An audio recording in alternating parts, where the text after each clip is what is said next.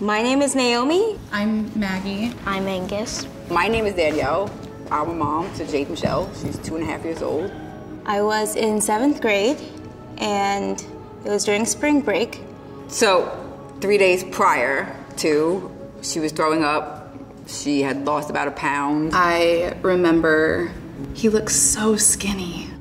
After a couple hours, when they tried to wake me up, I wasn't waking up. She was kind of like in a trance. He went from begging for water to being desperate for water. and I knew something was wrong. He was begging for his life, and I didn't know.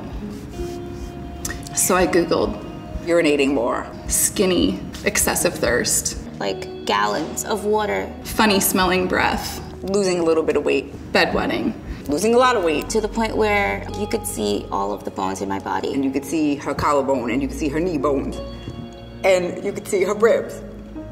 So I put her on the scale, and she had lost 11 pounds. My mouth was dry, my stomach was hurting, I could barely keep, keep my eyes open. Next thing I knew, there was a helicopter coming.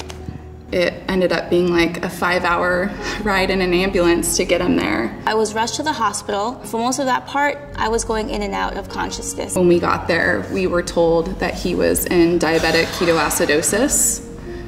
They took her urine, and maybe about 20 minutes later, you just heard the whole hospital rushing. It was like, oh my God, oh my God, oh my God. So I'm like, well, what's the problem? I was in a diabetic coma because my blood sugar was over 700 and they were just like, oh, your kid has diabetes and she's in severe DKA. The doctor came to me and told me that I had type 1 diabetes and that I was in DKA and that I had to stay in the ICU unit until my blood had was rid of the the acidosis. There's there's no transition. There's no gradual step into this diagnosis.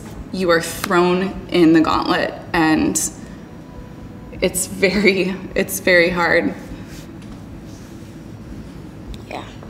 I knew nothing about type 1 diabetes, nothing. I had never heard of type 1 diabetes before. I didn't know how serious it was. How serious it was. Prior to being airlifted with my kid in severe DKA, they once again sent me home. It's the stomach virus. Don't worry about it. My pediatrician said that I'm probably just going through puberty. I was sent home seven times.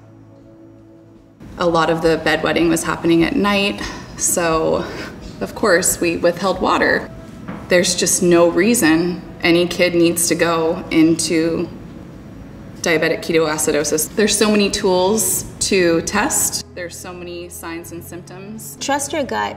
If you know that something is going on that is not normal or that is unusual, ask for that finger prick or the urine test. You should speak up. That mom instinct is is priceless like really priceless. If I would have stayed home that night, like they told me to, like, oh, it's just lethargy, stay home, I don't know if I'd have my kid.